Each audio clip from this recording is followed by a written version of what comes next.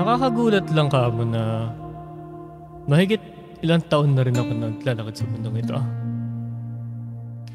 Alam mo yung pakiramdam na magugulat ka na lang na hala, ganitong edad na pala ako. Kumbaga parang ang bilis masyado. Pero hindi naman sa pangit yun o kaya masyadong mabilis. Kumbaga sinasabi ko siya in a way na nakaka-amaze lang na nakarating ako sa ganitong edad. Kumbaga kasi nalagpasan ko yung isa sa most challenging years ng buhay ko. And marami rin nangyari throughout the years ko. May mga taong nawala, pero syempre meron din ako mga nakilala. Merong mga importanteng bagay akong hindi nakuha, ngunit may pumalit naman. May mga pangyayaring hindi inaasahan, pero sa huli, nagbago ito at napalitan ito ng mga mga ganda. Marami rin akong mga nagawa at nasabing mali, pero natuto ako sa mga yon. Kasi nagbigay din ito ng aral din sa akin. Sa madaling salita, kung papansinin mo, lahat ng bagay ay hindi pare-pareho. Kasi change is the only constant in life. Naalala ko nung naipit ako sa isang sitwasyon na kung saan ay, alam mo yung walang ibang pwedeng daanan, kundi yun mismo. Ang dami kong iniisip na bagay at ginagawa, or more likely ginawa, para lang hindi mabago yun. Kasi natatakot akong mangyari. Halos pahamak ko na yung buong pamilya ko, muntik na akong kumapit sa patalim, at halos katabi ko na yung baril ng lolo ko. At seryoso ako dun. Pero nung nangyari siya, nagulat ako na hindi naman pala ganun kasama yung mangyayari. Oo, sabihin natin na mahirap pa rin yung nangyari at masakit. Pero nagulat ako kasi nagbago yung sitwasyon. Na akala ko nung una ay alam mo yung yun na yung katapusan ng mundo ko. Nakakatakot man isipin pero yun din yung rason why you should embrace it. Kasi nung sinalo ko siya, doon ko nang nalaman at na-realize na talagang nasisip ko lang pala yung mga bagay na yun. Pero dahil doon, kapag tinitignan ko yung sarili ko noon sa ngayon, I became more stronger and wiser than before.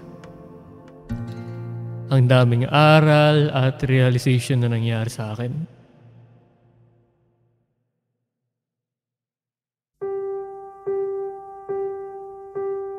Ngayon, ginawa ko itong sa video na to para masabihan ko yung future self ko. Bale, dalawa lang magiging resulta nitong video na to. It's either ako ay mag-react in a couple of years later or hindi na.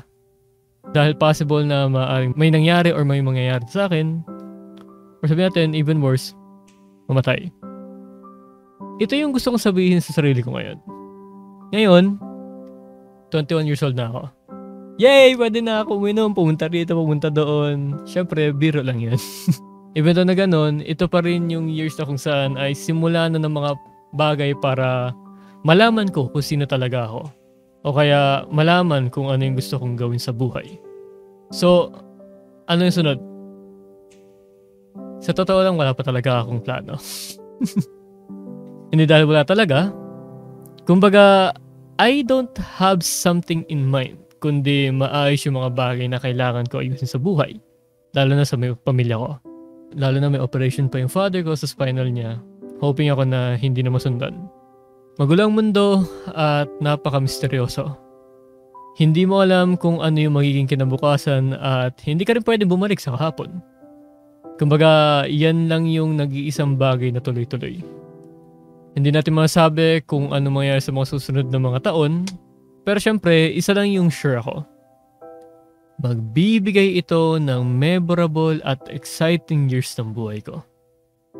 Kasi sabi nga nila, ano ang punto ng buhay kung wala mga challenges, tama?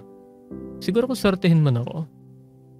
Gusto kong mag-explore, matuto ng mga ibang bagay katulad na ng bagong instrumento, matuto magsalita ng ibang lingwahe, pumunta sa ibang bansa, ipapaayos yung bahay namin, makapagpatayo ako ng sarili ko, mabili ko yung gusto kong kotse, alam mo yung mabigay ko yung pangarap ng pera sa kanila, yung gusto nila hindi nila makuha noon, makapagpatayo ng sariling business, at marami pang iba. Siguro yun yung plano ko. Christian, sana swertihin ka. Kumbaga, swertihin ka sa part na pa nag-take ka ng risk at pinush mo yung sarili mo outside your comfort zone, ay sana masatisfied ka. Kumbaga, masatisfied ka sa decision na yun. Kumbaga, hindi ka magsisi na hindi mo tinake at tinake yung risk na yun at ituloy mo pa rin. Surely ako magkakamali ka. As in, maraming pagkakamali sa mga bagay. Pero sana kahit na ganun ay patuloy ka pa rin matuto. At syempre, hindi dapat mawawala yung pinaka-importante sa lahat. Have fun at enjoyin mo yung proseso. Ito pa lang yung simula ng journey mo and I can't wait to see kung saan ka dadali ng mga desisyon mo sa buhay. Huwag mo kakalimutan na magpasalamat sa lahat ng mga taong nandiyan para sa'yo. At syempre, nagpapasalamat ako lagi, lalo na kayo, yung mga nanonood dyan. At lalo sa mga nakasupport sa channel na to. At sa mga bagay na naibigay nyo sa akin. Happy 21st birthday sa'yo. Dibo mo na. Enjoyin mo at be, make it memorable. At ingat ka palagi. Christian.